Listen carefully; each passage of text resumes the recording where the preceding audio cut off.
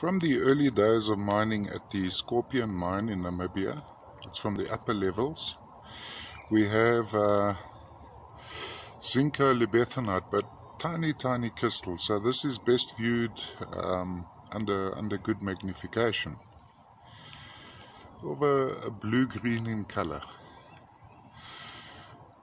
Camera is struggling a little bit to to get the actual. I even suffered, struggled with the still pictures.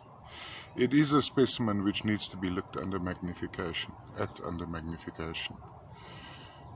Full of little bugs.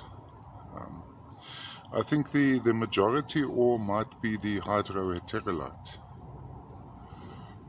Um, let's see, are there traces of, what is that, some calcite or some dolomite in between there.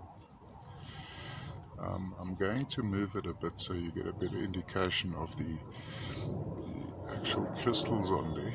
And there's a metallic crystal on top, or is it metallic? Is it a calcite? Have a look at the reflection on top there.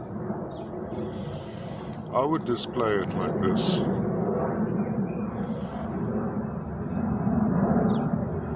So this side up. From the Skorpion mine in Namibia. Um, came out here early 2000s, 2002, around there, if I'm not mistaken. That is from the early digging, so that's right from the top section where the tarbuttite came out.